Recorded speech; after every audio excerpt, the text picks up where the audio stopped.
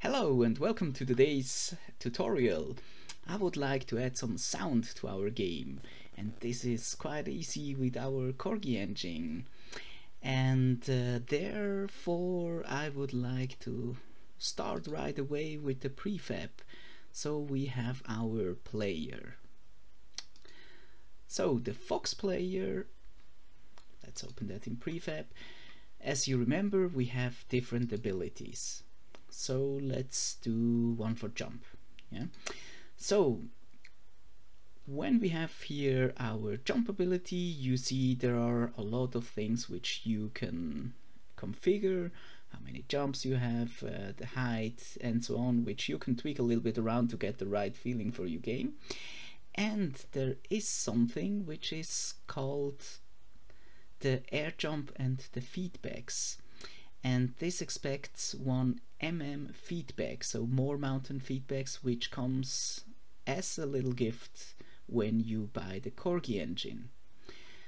So it means whatever I want this character to do when he jumps I can add it with these mm feedbacks. So best is if I show you that. So you go to your fox character and create an empty game object and you name that jump feedback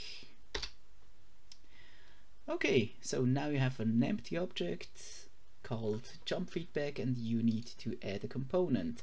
And if you type feedback you see the mm feedbacks here. So choose that one. Now this is just the start of it because from here on you can add the different things you would like to add as um, as a feedback. So in this case I would like to have a Corgi engine sound. So it means I can play a sound. As you remember we have here under the Corgi engine we have the common and the prefabs and we have some sounds which we can use. And we have here the jump wav so let's move that in here. Okay. So that's it. So now we have configured under our Fox prefab a feedback which uh, uses now this sound.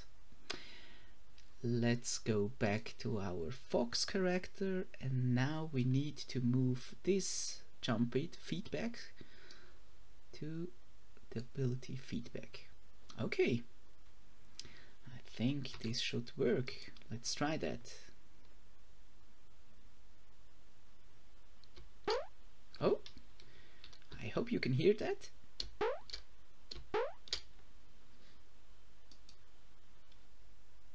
Okay, now I would like to make another sound when he lands.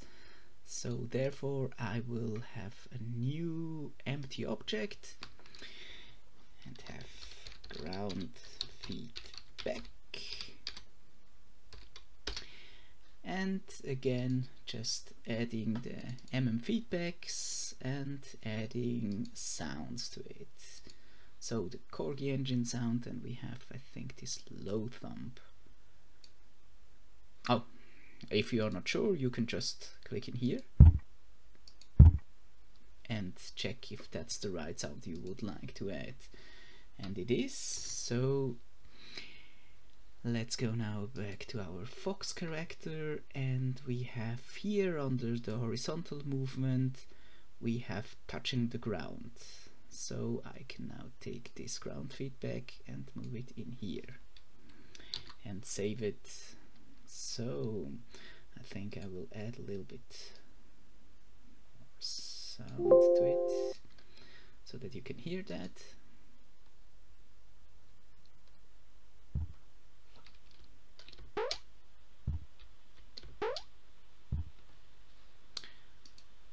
Perfect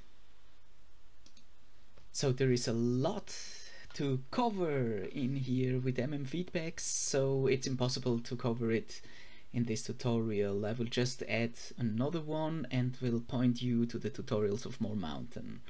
So let's add something else, a little camera shake when he lands. So here under the ground feedback you have seen I have the possibility to add a new feedback and here I have the camera shake, durations in seconds, so okay. So these numbers at the moment even if I know what they mean I cannot feel them. So there is a small trick for that. You need to play.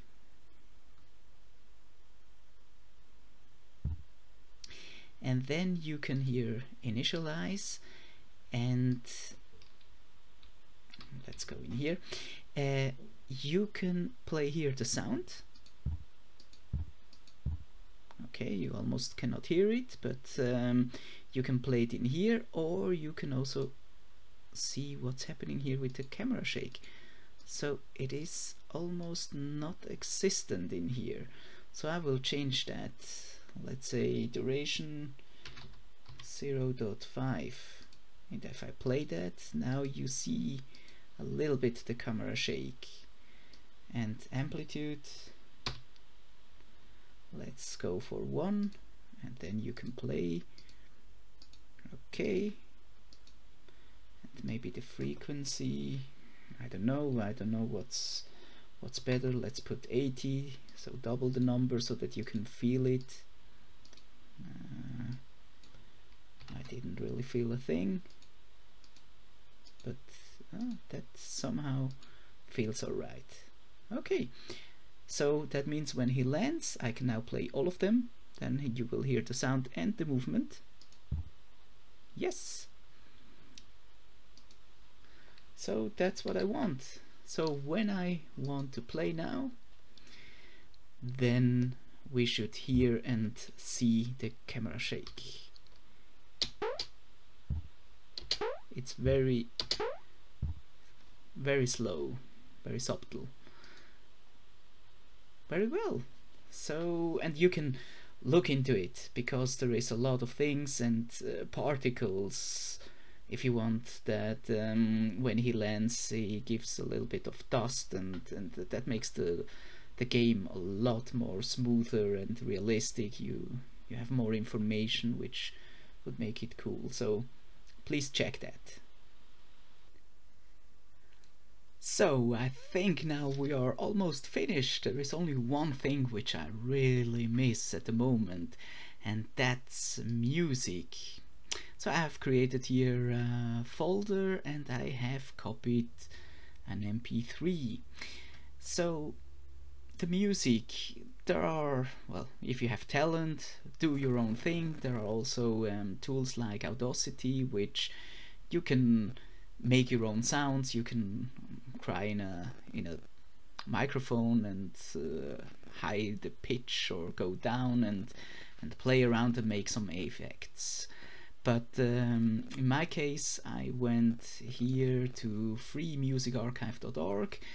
I found a song that I liked from Mr. Lobo Loco. I have re read carefully the Creative Commons license to make sure that I am able to use this music in my game.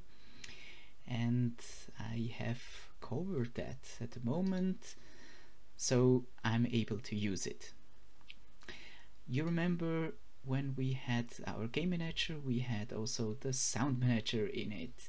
So this makes sure that you can use your music. Uh, you can also under the level manager you are able to go to background music or sorry add a component called background music and you can just move your sound clip in here. So if I play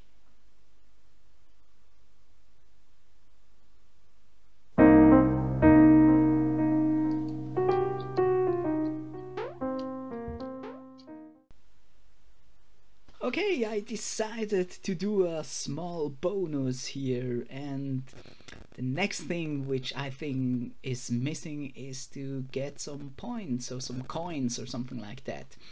We have here under Sunnyland, we have sprites and items and we have here the cherries and we have here the gems. So let's take the gems and create one object. Oh, I almost forgot. It was too small. Remember the pixels per unit? I almost forgot my own rule. So 16. Now we move it in here and we create an animation for it. So,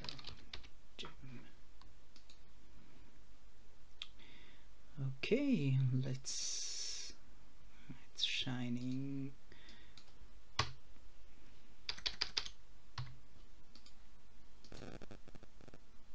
Yes, okay. So now we have our gem in here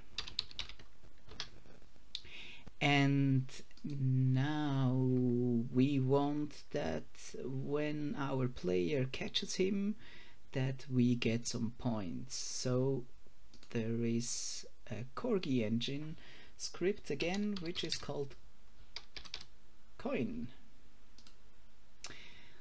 So again you can set here some things. The important one here is I would like to have 1000 points if I get the gem.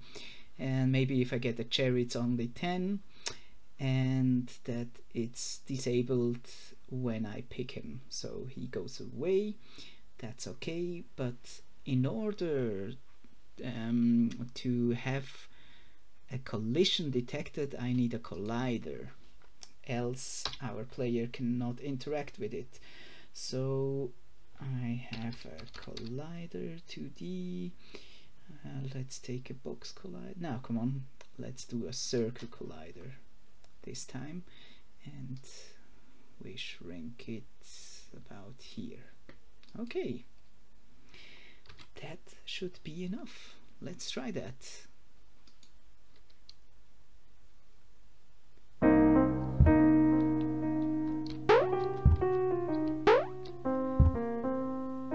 And we have 1000.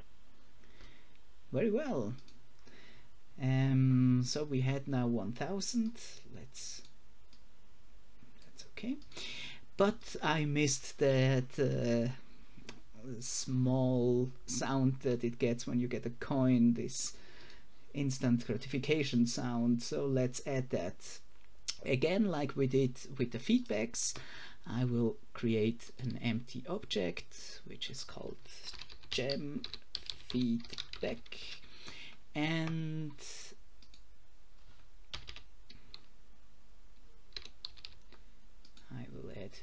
The mm feedbacks logic adding again the Corgi engine sounds. I will go here to the Corgi engine to the prefab sounds and I think I have one here. Mm, coin 04 woo that was loud. But I will take that. So again to the gem feedback.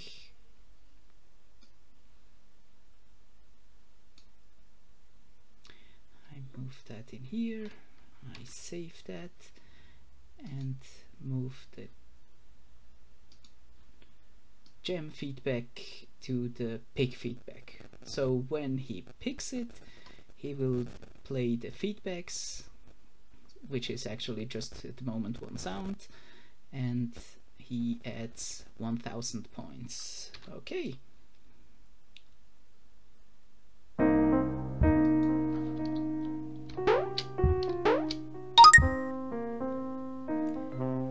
Great. Well, uh, the, the next thing you can do is now take that and put it in here as a prefab so that you can instantiate as much objects as you want. And maybe add the cherry with the same logic, a little bit less uh, value than the, those ones and make those a little bit um, rarer than the others. Maybe maybe you want to add to the prefabs um, that this gets also some points when you kill them. You can add such things in here as I showed you more or less. Go over the different um, configurations that you can do and then you see points when destroyed. You can say, well, if I kill one of them, he gets me 100 points and then you can start to make a very cool game. So, my dear friends, uh, that was my Corgi engine tutorials for beginners. I think everything else which I can tell you now would be a little bit too much, so the series will stop now. Thank you very much for all of you which have been looking into those tutorials. I really enjoyed it to make them. And, um, well, subscribe and leave me comments if you like to have maybe a second tutorial or maybe some in-depth tutorials about uh, different abilities or maybe parallax effect or something like that. But for now, thank you very much and enjoy your journey. Bye.